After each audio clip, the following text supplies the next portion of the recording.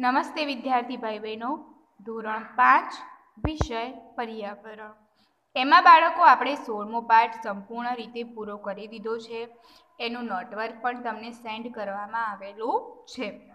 તો તમારે એને પર્યાવરણની નોટમાં લખી દેવાનું છે. આજે આપણે પાઠ સત્તર. દિવાલ ઓળંગી લીધી જોઈએ. તો બાળકો, આજે ઓનલાઈન ક્લાસમાં બહુ જ નેટવર્ક પ્રોબ્લેમ હતા. લિંક વારે વારે એન્ડ થઈ જતી હતી, બરોબર? તો અહીં સુધીનો વીડિયો તમારે જોઈ લેવાનો છે. આવતીકાલે આપણે આગળથી સ્ટાર્ટ કરીશું. દિવાલ ઓળંગી લીધી. જોઈએ. તેર જ વર્ષની અપ્સાના મંજૂરી. તેર જ વર્ષની અપ્સારા મંસૂરી, જે ગુજરાન ચલાવવા વાસણો સાફ કરતી હતી. તેર વર્ષની આ છોકરી, કે જેનું નામ હતું અફસાના મંસૂરી જે ગુજરાન ચલાવવા, એટલે કે પોતાનું ઘર ચલાવવા માટે એની મમ્મી પપ્પા સાથે રહેતી, જે બહુ ગરીબ હતા, તો એમનું ઘર ચલાવવા માટે તે શું કરતી? લોકોના ઘરના વાસણો સાફ કરતી હતી. તેણે દિવાલ કૂદી લીધી અને તે દિવાલ કૂદી લે છે. કઈ દિવાલ? તો દિવાલ તેની ઝૂંપડી અને સ્થાનિક બાસ્કેટબોલ કોર્ટ વચ્ચેની હતી. એ દિવાલ સમાજે છોકરીઓ માટે બનાવી હતી કે માત્ર છોકરાઓ જ બાસ્કેટબોલ રમે, છોકરીઓ નહીં. આવી દિવાલ જે સમાજે બનાવી હતી, એ દિવાલને આ અપ્સારા મંસૂરી નામની છોકરી ઓળંગી જાય છે. તેની માતાએ તેની માટે જાતિની એટલે કે લિંગની દિવાલ બનાવી હતી કે જે મેં હાલ વાત કરી કે છોકરા અને છોકરી. આજે અફસાના પોતે નાગપાડા બાસ્કેટબોલ એસોસિએશન એટલે કે એનબીએ ઓફ મુંબઈ માટે મજબૂત આધાર એટલે કે પાયો બની ગઈ છે. આજે તે બીજી પાંચ છોકરીઓની પ્રેરણા સ્ત્રોત બની છે. જે તેમની રોજના મુશ્કેલીઓ કે જે તેમની રોજની મુશ્કેલીઓ પાછળ મૂકીને બાસ્કેટબોલમાં, બાસ્કેટબોલ, બાસ્કેટબોલના કોર્ટ એટલે કે રમ, બાસ્કેટબોલની રમત રમવાની જગ્યાને શું કહેવાય? Basketball court. અને એ ત્યાં આવે છે, બાસ્કેટબોલ રમવા. આજે તે યુવા ટુકડી, ટીમનો તારો ખાસ ખેલાડી છે. કોણ? અફસાના મંસૂરી. આ ટીમે મુંબઈ ક્લબની ટીમને આશ્ચર્યમાં મૂકી દીધી છે. અને આ જે ટીમ છે, તેણે મુંબઈ ક્લબની ટીમને આશ્ચર્યમાં મૂકી દીધી છે. ખૂબ જ ખમીર અને હિંમત સાથે આ ટીમ જિલ્લા કક્ષાની ટુર્નામેન્ટની સેમિફાઇનલમાં પહોંચી ગઈ છે. આ ટીમ જિલ્લા કક્ષાની ટુર્નામેન્ટ એની સેમિફાઇનલમાં આ ટીમ પહોંચી ગઈ છે. ટીમની મુલાકાત અમે સમાચાર પત્રમાં અફસાના અને નાગપાડા બાસ્કેટબોલ ટીમ વિશે વાંચ્યું, એટલે કે આ પુસ્તક લખનાર વ્યક્તિઓએ. અમે વિચાર્યું કે આ છોકરીઓનો તમને પરિચય કરાવવામાં આવે અને તેમની મુલાકાત લઈએ. એટલે કે આ છોકરીઓનો પરિચય કરવા માટે પુસ્તક લખનારાઓ આ ટીમની મુલાકાત લેવા માટે જાય છે. અમે ટ્રેન પકડી અને મુંબઈના Chhatrapati Shivaji Victoria terminal station એટલે કે રેલવે સ્ટેશન ઉતર્યા. ત્યાંથી અમે નાગપાડા તરફ ચાલવા લાગ્યા. અમને ત્યાં પહોંચવામાં ફક્ત વીસ જ મિનિટ લાગી. એટલે કે મુંબઈ સ્ટેશનેથી નાગપાડાએ માત્ર માત્ર વીસ જ મિનિટનો રસ્તો છે. ત્યાં અમે અફસાના અને નાગપાડા બાસ્કેટબોલ અફસાના અને નાગપાડા બાસ્કેટબોલ એસોસિએશનની બીજી છોકરીઓને મળ્યા એટલે કે આ જે છોકરીઓ છે તેમને તેઓ મળ્યા. ટીમના સભ્યો સાથેની મુલાકાત વિશે વાંચો. અહીંયા ટીમના સભ્યો સાથે તેમને મુલાકાત કરી, કઈ કઈ માહિતી મેળવી તે આગળ પાઠમાં આપેલું છે. તો આપણે તે જોઈએ. આ ખાસ ટીમને મળો. અફસાના, ઝરીના, ખુશનૂર અને આફરીનને મળો. જે આ ટીમના કોણ છે? સભ્યો. પહેલાં તો તે છોકરીઓ શાંત હતી, પણ એકવાર તેમણે બોલવાનું શરૂ કર્યું, પછી તેઓ બંધ જ ન થઈ. પહેલાં તો આ છોકરીઓ કેવી હતી? શાંત. પણ એકવાર તેમણે બોલવાનું સ્ટાર્ટ કર્યું, પછી આ છોકરીઓ બંધ જ ન થઈ. ઝરીને શરૂ કર્યું, મારું ઘર જુઓ. ઝરીન નામની છોકરી બોલે છે કે એનું ઘર આ મેદાનની બરોબર સામે છે. એટલે કે અહીંયા કશેક એનું ઘર હશે સામે. મારો ભાઈ ત્યાં રમતો. એટલે કે આ મેદાનમાં બાસ્કેટબોલનું મેદાન છે, બાસ્કેટબોલ કોર્ટ છે, અહીંયા આ ઝરીનનો ભાઈ રમતો. હું મારા ઘરની બાલ્કનીમાં ઊભી રહેતી અને અહીંયા બાલ્કનીમાં કશે છોકરી ઊભી રહેતી અને છોકરાઓને રમતા જોતી. તે સમયે હું ધોરણ સાતમાં ભણતી હતી. જ્યારે પણ છોકરાઓ મેચ રમતા ઘણા લોકો જોવા આવતા. જીતનાર ટુકડીની ખૂબ જ પ્રશંસા થતી. બધા ખેલાડીઓ બૂમો પાડી પ્રોત્સાહન આપતા. આ બધું જોઈ મને થતું કદાચ હું પણ રમી શકું. કોચ મારા પિતાના ખૂબ જ સારા મિત્ર હતા.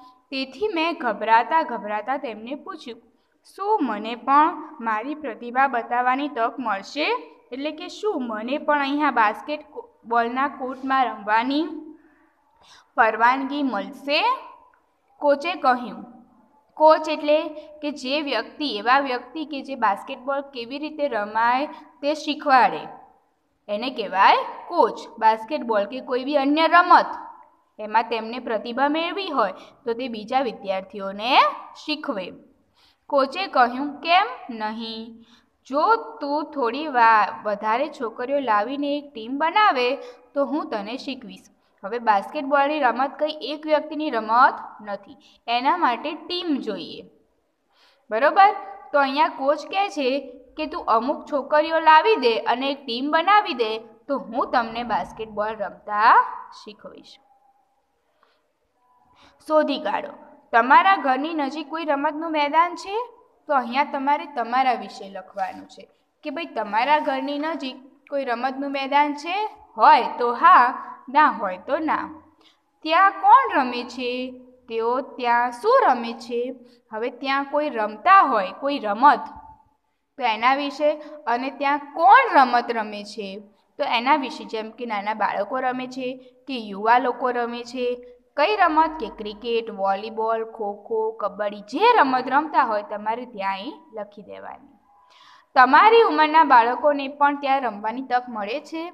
જો આ ગ્રાઉન્ડમાં તમારી જે તમારી નજીક જો રમતનું મેદાન હોય અને ત્યાં તમારા જેવા નાના બાળકોને જો રમવાની તક મળતી હોય, તો હા, અને તમને લોકોને ના રમવા દેતા હોય તો ના. તે જગ્યાએ બીજી કઈ પ્રવૃત્તિઓ થાય છે?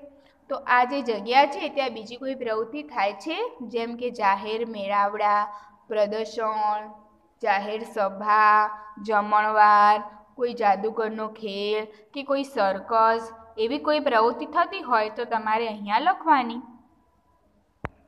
આગળ જોઈએ. અમે પૂછ્યું, શરૂઆત કરવી સરળ હતી? કે કોઈ પણ વસ્તુની શરૂઆત કરવી એ બાળકો ખૂબ જ અઘરી હોય. તો આ પુસ્તક લખનાર વ્યક્તિ આ છોકરીઓને પૂછે છે કે ભાઈ, શરૂઆત કરવી એ સરળ હતી?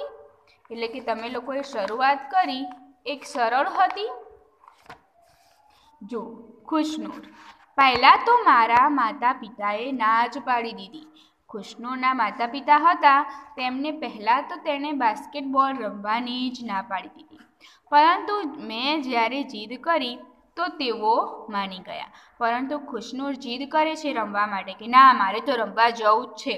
તો એના માતા પિતા માની જાય છે. અફસાના, મારી માતા બીજાના ઘરે કામ કરવા જાય છે અને અમને શાળાએ મોકલે છે. અફસાના જે છોકરી હતી, એની માતા બીજાના ઘરે ઘરકામ કરી, એમાંથી પૈસા આવે, એમાંથી આ છોકરાઓને ભણાવે છે. હું પણ તેમને મદદ કરું છું, એટલે કે હું પણ ઘરકામ કરવા જાઉં છું. જ્યારે મેં મારી બાસ્કેટબોલ રમવાની યોજના વિશે કહ્યું, માતા ગુસ્સે થઈ ગઈ. તેણે કહ્યું, છોકરીઓથી બાસ્કેટબોલ ન રમાય. તારું કામ કર, શાળાએ જા અને મહેનત કર. મેદાન પર જઈને રમવાની જરૂર નથી. પરંતુ જ્યારે મારા મિત્રોએ અને કોચે મારી માતાને સાથે વાત કરી, ત્યારે તે માની ગઈ. અફસાનાની માતા લોકોના ઘરે કામ કરવા જતી અને અફસાના ખુદ પણ લોકોના ઘરે કામ કરવા જતી. તેને તેની મમ્મીએ પહેલાં તો બાસ્કેટબોલ રમવાની ના પાડી દીધી. પરંતુ જ્યારે તેના મિત્રોએ અને કોચે તેની માતાને સમજાવી, તો તેઓ તૈયાર થઈ જાય છે. હવે જોઈએ આફરીન. અમને પરવાનગી ન હતી કારણ કે અમે છોકરીઓ છીએ. જુઓ, અહીંયા લિંગની દિવાલ આવી કે ભાઈ છોકરાઓ બહાર રમવા જાય છોકરીઓ બહાર આવી રીતે રમવા જઈ ન શકે.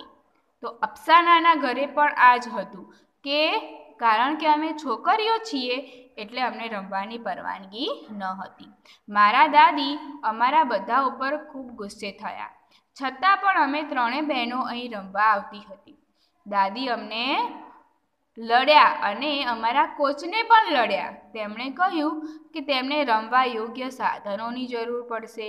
તેમને શક્તિ માટે ખૂબ જ દૂધ લેવાની જરૂર છે. આ બધા માટે પૈસા ક્યાંથી લાવશે?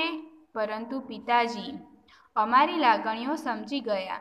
તેમણે અમને રમવા, રમ, રમતા, રમવામાં વપરાતી ખાસ પ્રવૃત્તિ એટલે કે ચાલ શીખવી. કે ભાઈ આ જે આફરીન હતા, તેના પિતા સમજુ હતા. તેના દાદી તેમને ના પાડતા, પરંતુ તેમના પિતાએ તેમને છૂટ આપી. જ્યારે પિતાજી નાના હતા ત્યારે તે પણ આ મેદાનમાં રમતા હતા.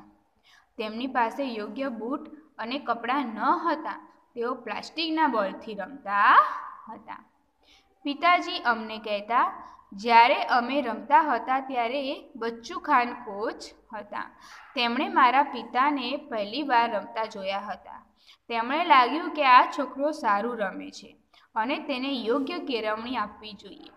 તેમણે મારા પિતાને યોગ્ય બૂટ અને કપડાં આપ્યા હતા. એટલે કે આ જે આફરીન છે ને, એના પિતા નાના હતા ત્યારે અહીંયા જ રમવા જતા. પણ એ વખતે બચ્ચુ ખાન કોચ હતા. તેમણે એમના પિતા પાસે યોગ્ય વસ્તુઓ નથી તો એમણે એમને બૂટ અને કપડાં પણ બચ્ચુ ખાને આફરીનના પિતાને આપ્યા હતા. મારા પિતાજી સારા ખેલાડી બની શક્યા હોત. પરંતુ તેમની ઘર પ્રત્યેની જવાબદારીઓના કારણે તેમણે રમત છોડી દેવી પડી અને નોકરી કરવી પડી. તેથી તે અમને રમવા દેવા માગતા હતા અને અમને સારા ખેલાડી બનાવવા માગતા હતા. આ આફરીન છે, તેના પિતાને તો રમવા ન મળ્યું હતું, કારણ કે એમની ઘરની જવાબદારીઓ ખૂબ જ હતી. માટે તે આફરીનને રમવા દેવા માગતા હતા. કહો તમને કોઈએ ક્યારેય રમતો રમતા અટકાવ્યા છે? હવે તમારા ઘરે તમને કોઈએ આ પ્રમાણે રમત રમતા અટકાવ્યા છે? કઈ રમત રમતા? તો એ તમારે અહીં લખવાનું. તમને કોણે અટકાવ્યા અને કેમ? પછી તમે શું કર્યું? ભાઈ, આ રમતો રમતા તમને કોણે અટકાવ્યા? કેમ? તો એ વિશે લખી શકો. જેમ કે અમને સોસાયટીમાં લોકોએ ક્રિકેટ અને ગિલ્લી દંડાની રમતો રમતા અટક્યા, અટકાવ્યા છે. આ રમ, રમતો રમતી વખતે અમે તેમના ઘરની બારી કે કાચ કે ગાડીના કાચ તોડી નાખતા હતા.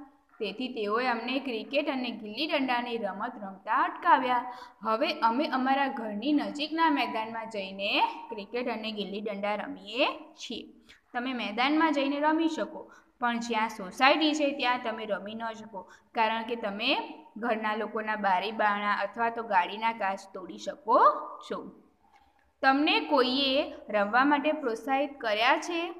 તમારા ઘરમાં તમારા માતા, પિતા તમને કોઈ પર રમત માટે, રમત રમવા માટે પ્રોત્સાહિત કરતા હોય, તો અહીંયા તમે તેમનું નામ લખી શકો છો. તો બાળકો આજે આપણે અહીં સુધીનું જોઈએ. આવતીકાલના ક્લાસમાં આપણે આગળ બુકમાં જોઈશું.